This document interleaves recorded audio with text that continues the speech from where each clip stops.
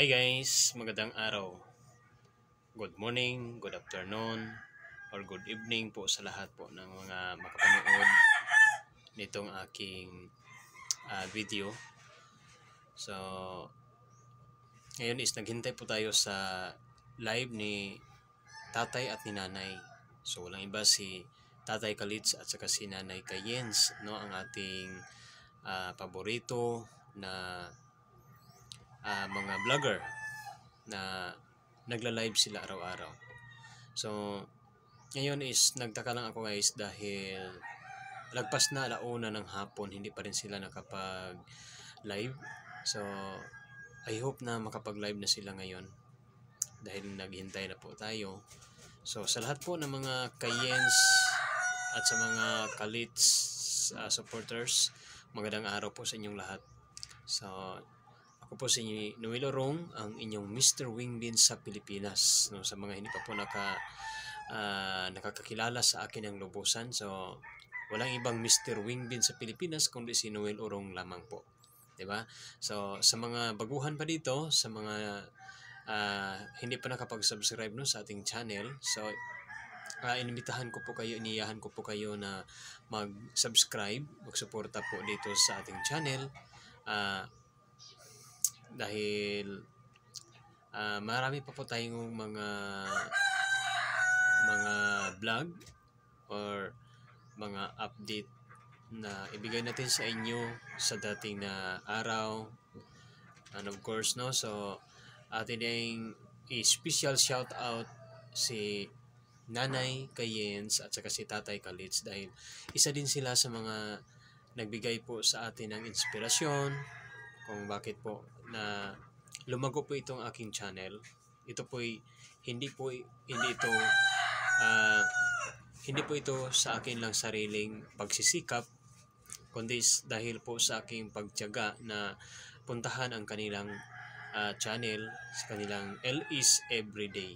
No? So malaki malaki pong tulong ang pagsuporta po ng ibang mga vlogger po lalo na sa pag uh, pag-join ng LS, kailangan natin na mayroon tayong pipiliin na mga taong uh, karapat dapat no na ating tulungan or ating suportahan.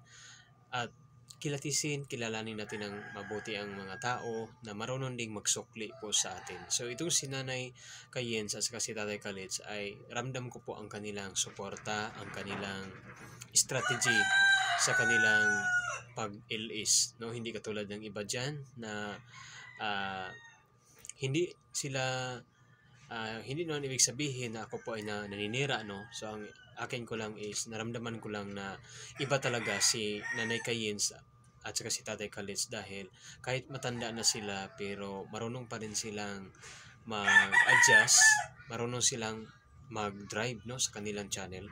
At marunong din silang makip- makipag-usap no sa mga audience nila no? Kaya ito po ay isa sa pinakamahalaga po natin bilang mga vlogger na sana po ay uh, hindi lang po ang ibang mga ang sarili nating kapakanan po ang ating iisipin kundi iisipin din natin ang mga lalo na sa mga baguhan pa lang no? Lalo na sa mga nag-umpisa pa lang sa kanilang uh, channel na sana po ay maramdaman po natin kung ano po ang kanilang uh, gusto no lalo na po kung tayo po ay monetize na, tayo po ay uh, nag-enjoy na sa ating channel, ay yung ating mga puso at ang ating mga mata ay imulat din natin sa iba.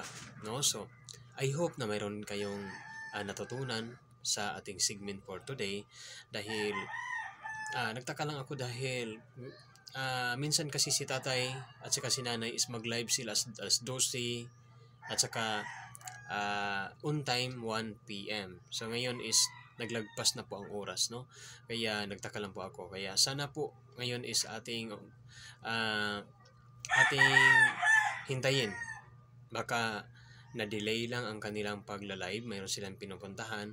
So sa lahat po ng mga Kayens family dito, sa lahat po ng mga sumusuporta kay tatay at sa ni nanay, so please uh, suportahan natin sila organically. Then dito po sa akin channel ay uh, pag-support din naman dahil uh, yun din ang ating uh, gagawin. Magsuporta tayo doon kay nanay at saka ni tatay at sa iba pang mga vlogger na gusto pong masuportahan dito.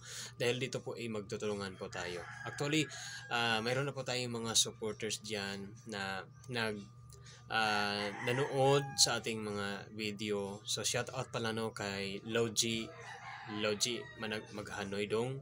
Thank you so much sa pagsuporta mo. At nandyan din si Lalang, Hazel Ann, at saka si Armando Bon. Ay, thank you so much. At aking mga kapatid, no? silang Marites, sila Nilin, at saka silang si Hazel May. O yan, marami silang mga silent supporter dyan. At ang mga pamangkin ko, yan dyan, si Eva Mi, sila